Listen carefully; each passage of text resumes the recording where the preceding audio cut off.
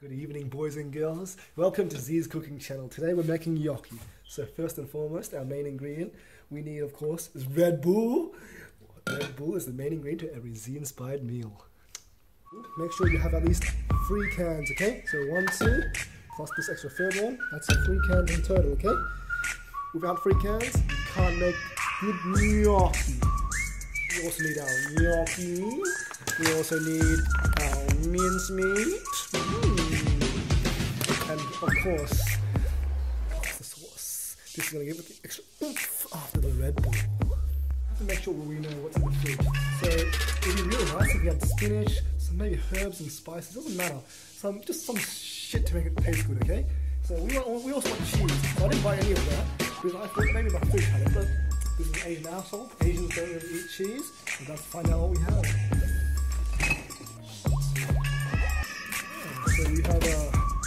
More of Red Bull here.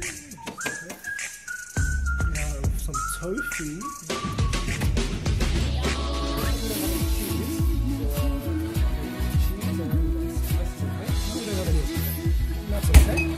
So first things first, to boil our water. So here's our water.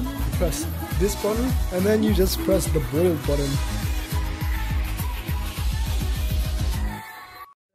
Guys have never cooked before in your lives. So let me explain why you have to boil the water and why you use tap water instead of some other shitty water, okay? So tap water is really nice. Secondly, secondly, boiling the water kills all the bacteria and all the shit that makes you sick, alright? That's why you boil the water. Plus the heat from the water, it cooks the gnocchi.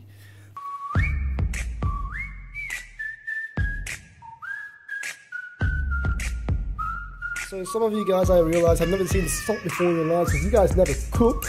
Louisa Deng, Alan Huang, Gina Clark.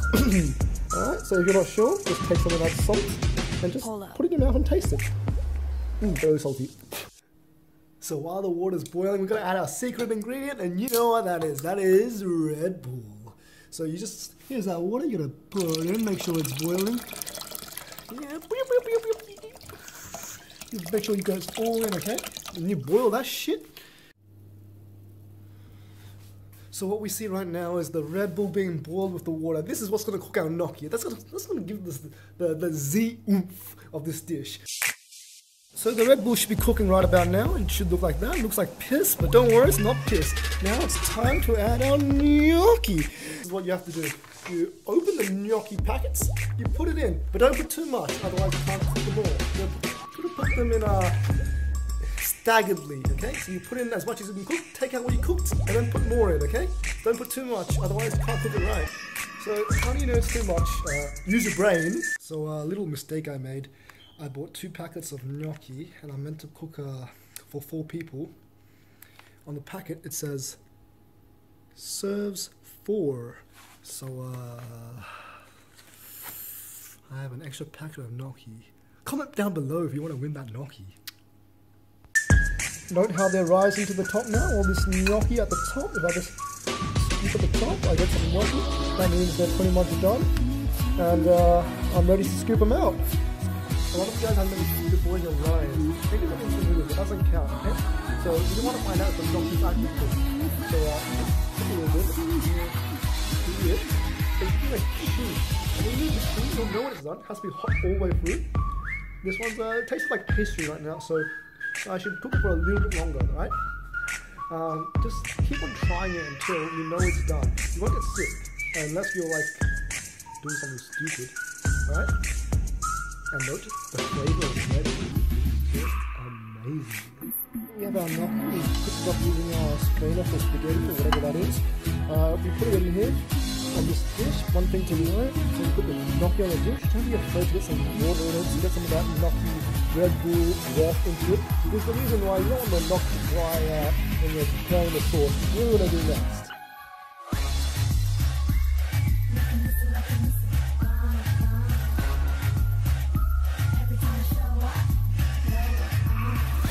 When you're stirring the meat, always use a wooden, have one hand here, but always use a wooden spoon.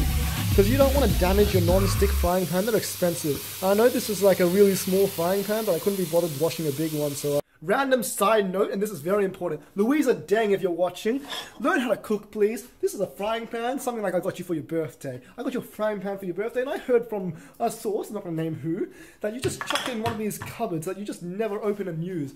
This, you gotta watch this video, watch all the previous, all the next Zi channel cooking videos, and learn how to cook properly. Zi's cooking channel, that's what I meant to say.